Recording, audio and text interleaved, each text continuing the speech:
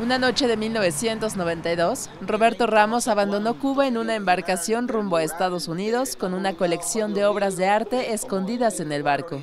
25 años más tarde es el director del Museo Cuba 8 y Centro Arte Cubano en el corazón del barrio de la Pequeña Habana, en Miami.